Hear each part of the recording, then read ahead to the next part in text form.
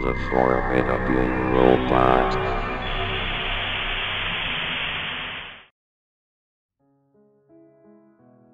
I recently discovered something that Google kept secret about the Chromebook. This is truly shocking when you really think about it.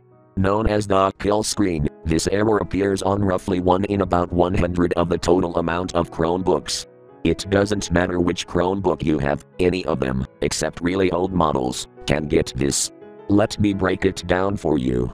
The Chromebook starts up like it should with the Chrome animation, and cuts to black like it normally does. If your Chromebook has the kill screen, then instead of going to the login screen like it should, it goes to a screen with a similar UI to the developer mode, or something you would get if the operating system was missing or damaged. The error screen states that the Chromebook encountered an unexpected error, and that normal use could not continue. The screen advises you to call 1 800 4GOOGLE, 1 800 446 6453, no longer in service, to fix the issues. There is also an error code at the bottom of the screen.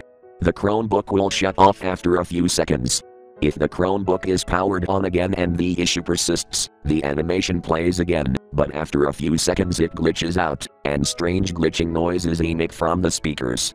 The screen goes black again, and then cuts to another error screen, stating that the computer could not be used until a Google representative or employee fixed it. The error code at the bottom of the screen becomes just the number 6 and nothing else. The Chromebook, like last time, will power off after a few seconds. If it is powered on again and the issue is still present in the system, the animation will play again, and then glitch again after a few seconds. More glitching noises emit from the speakers, as the screen cuts to black again. After 2 seconds, another error screen appears, stating that the error cannot be fixed automatically, and must be manually fixed with the system recovery tool. The screen states that this is a last ditch effort, and can result in serious damages to the internals of the Chromebook. If the user presses upon the T arrow arrangement, the screen cuts to black, then cuts to another screen, the screen states that Google cannot be held accountable for errors that are caused using an authorized software present on the system. The user, if they decide to continue, must download the Chromebook Recovery app via the Chrome Web Store to create a Recovery Media USB for their make and model. If the user decides to continue, then the user must plug in the USB into the USB port on the Chromebook. The screen then once again cuts to black, then the verification of the media begins. It is said to take up to 10 minutes to complete. Once verification is complete, the recovery process then begins. It can take from around 45 minutes to 6 hours to complete. If the recovery succeeds, the Chromebook begins the power wash cycle, putting the Chromebook into a factory state. However, this is an extremely rare occurrence, and the system recovery process is most likely to fail within the first 25 to 30 minutes of the recovery process.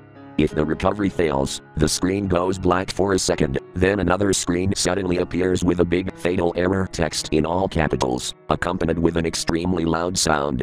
The big text constantly flashes back and forth from red to black, which is likely to cause seizures in some people. Six seconds later, a message appears on the screen, stating that the recovery process had failed, and the internals have been permanently corrupted. A few seconds later, the screen glitches out and the sound completely freezes, then the Chromebook instantly shuts off. There's not even a white flash beforehand, it just instantly shuts off. At this point, your Chromebook is not only bricked, but it quite literally dies. There's absolutely no power going to it. None of the lights on the front work anymore, and the charging port at this point is basically fried, and unable to charge the device. Your Chromebook cannot even be repaired at this point, you will have to buy a brand new Chromebook. There have not been any reports of successful repairs, so your Chromebook is basically useless now. Google set this whole thing up.